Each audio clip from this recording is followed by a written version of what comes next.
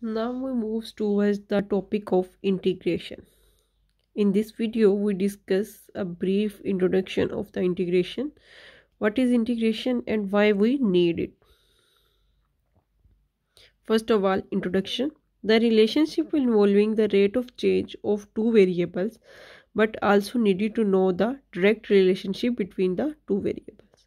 For example, we may know the velocity of an object by using derivatives at a particular time. But we may want to know the position of the object at that time. Okay. To find this direct relationship we need to use the process which is opposite to differentiation. This is called integration or anti-differentiation. The process of integration are used in many applications of business and finance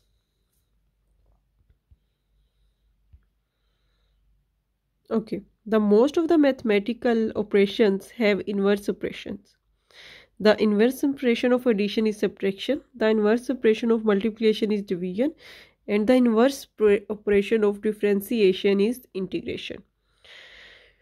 Okay, we already discussed uh, about uh, differentiation. What is differentiation? A rate of change. Basically, differentiation is a rate of change of a dependent variable with respect to independent variable. These two statements are equivalent where y is an independent variable and x is an independent variable. Integration can be used to find areas, volumes, central points and may useful thing many useful things.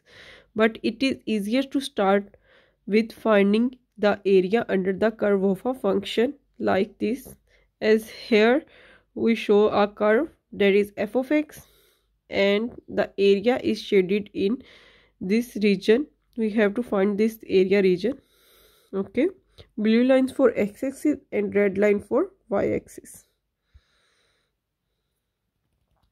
First of all we divide this area into us some slices. We could calculate the function at a few points and add up slices of width del x like this but the answer would not be very accurate. Here we see that the width of slices uh, is not very small. Okay. Next we consider the width of slices is small. We can make del x a lot smaller and add up many slices. Answer is getting better. As the width of slices becomes small and small then the answer is much better to the actual area of this function or this curve. Okay. As the slices approaches to 0 in width the answer approaches the true value. We know we now write dx to mean the del x. Slices are approaches to 0 in width. When these slices approaches to 0 in width we replace del x by dx. Okay. And this dx we use in the integration process. A real life example comparison integration is like filling a tank from a tap. The input before integration is the flow rate from the tap and integrating the flow adding up all the liter bites of water give us the volume of water in the tank okay similar concept as we consider for slices. Here the slices are little drops of water and by collecting all these little drops we have a volume of water in that tank. Now we discuss about the notation of the integration. It is the notation of integration. As using comparison with the sum we use this sign as integral symbol. Okay a function whose integration we have to take is called integrand. This function is called integrand.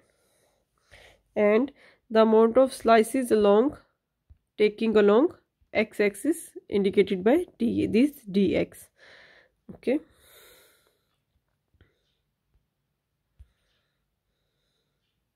now next there are two types of integration basically first of all indefinite integrals and next is definite integral. Okay? In case of indefinite integral we say it indefinite because of this c value. Okay? Where c as indefinite in why c we add c in indefinite integral? This is a very important question. It is the constant of integration.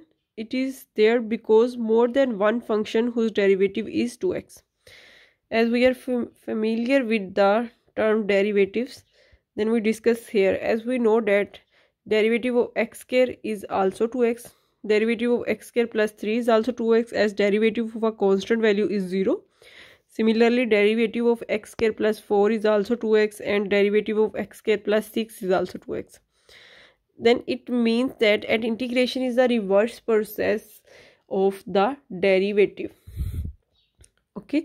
Then more than one function if more than one functions have same derivative it means okay, more than one, uh, of a integration of a function which is the inverse of derivative where we can add a constant value c.